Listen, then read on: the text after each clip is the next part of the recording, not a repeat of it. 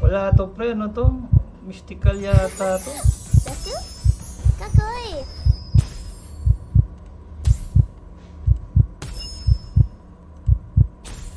Kamalasan nga naman oh.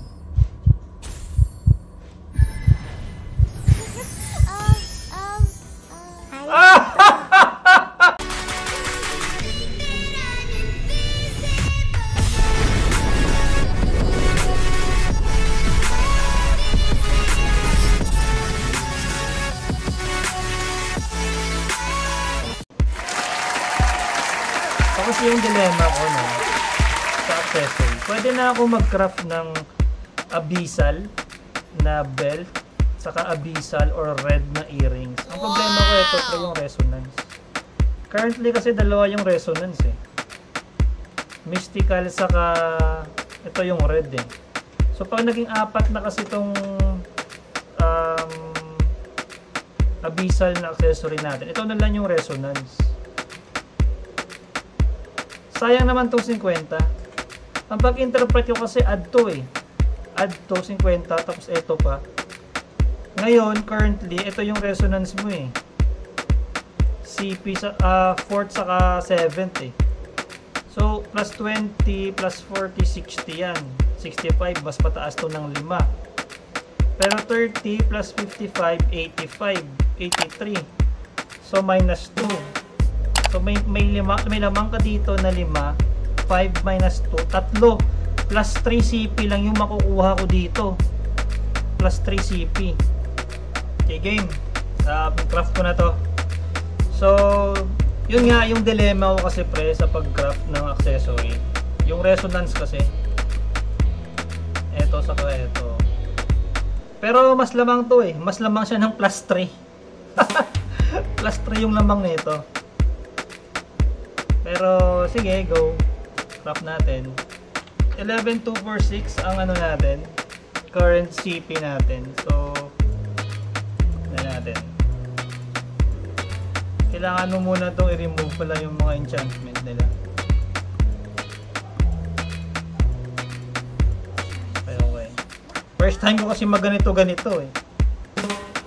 Kailangan X muna to pre. Din.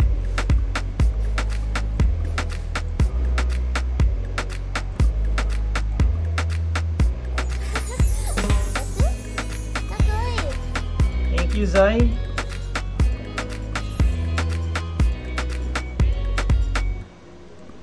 Tapos, disassemble natin.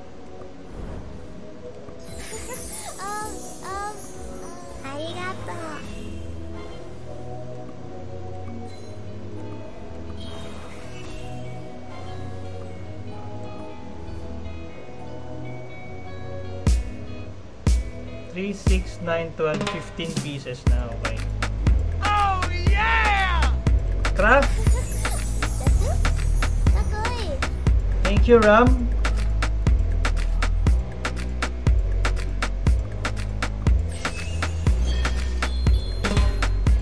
Ayos.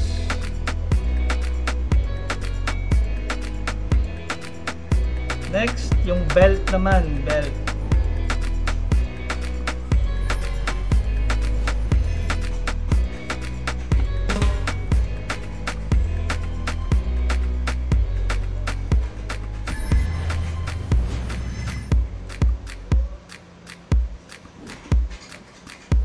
Craft na craft. Abisan.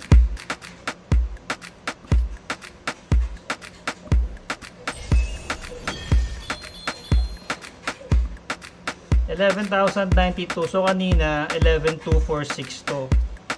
So, eleven two four six minus 1192, 154 na shipping kailangan nating bawiin dito, pre.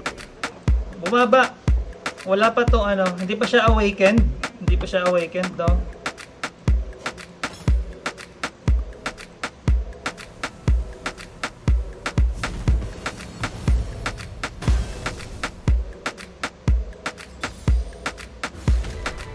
So, i-ano natin, face by face. So, awakening muna.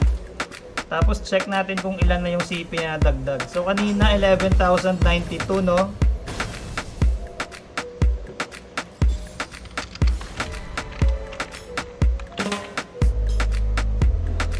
Ngayon, check natin CP awakened na yung dalawa. 11,131.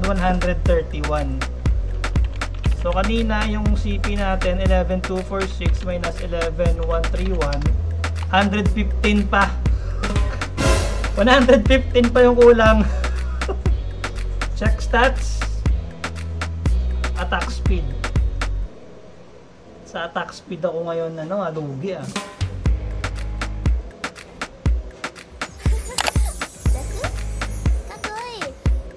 Thank you, Niels. Babawian ko muna to ng attack speed, pre. Move speed pala to. Saka move speed. Dito.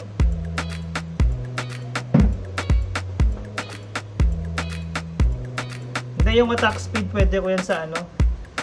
Um, bawiin dito. Pwede ko tong tanggalin kasi yung AHIB eh. Attack speed lagay ko dito eh. Kasi AHIB ko, third option ko lang naman yan sa branch. So, pwede ko siyang lagyan ng attack speed dito sa ano, sa gloves. Pwede yan mabawi yung attack speed. Um, so, ilan pa? 115 pa ang kailangan natin, pre, para mabawi ko yung 11246 ko kanina. Kaya natin kung hindi tayo malulugi dito sa enchantment. Woohoo! Unahin muna natin to.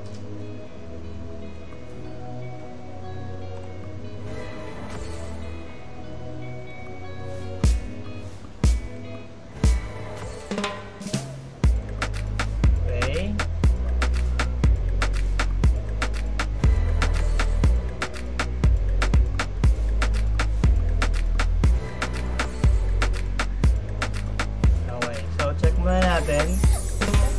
Thank you, Larry.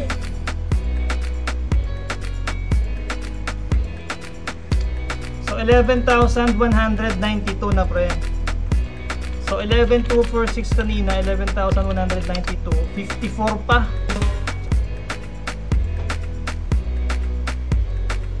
Fifty-four pa.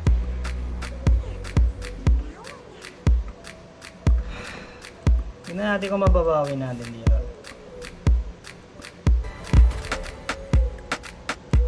Okay, attack plus 9. Malulugi sa CP dahil sa red attack plus 7. Sige. Ito muna pre ha. Ito, attack plus 8 muna. Yan, Sige nga, plus 6 na. Tingnan natin pre ha kung makabawi na tayo. 11,222. So, 11,246 minus 11. Lugi pa ako ng 24 CP.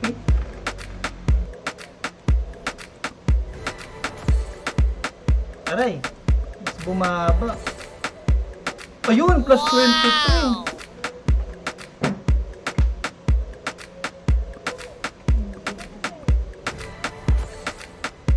Ayun, plus 16. Kung dito yata tayo babawi, pre.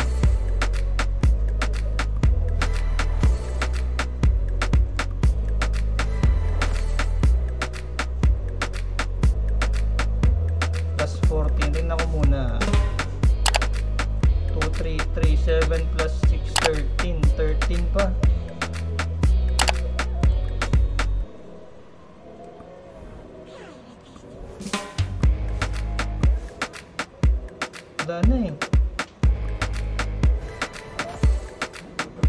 Ayun, 17. 10. Kailangan ko pa ng 10. Plus 10 nga binigay. 6 na lang kailangan ko pre para mabawi ko. Oh, di ba? 6 na lang.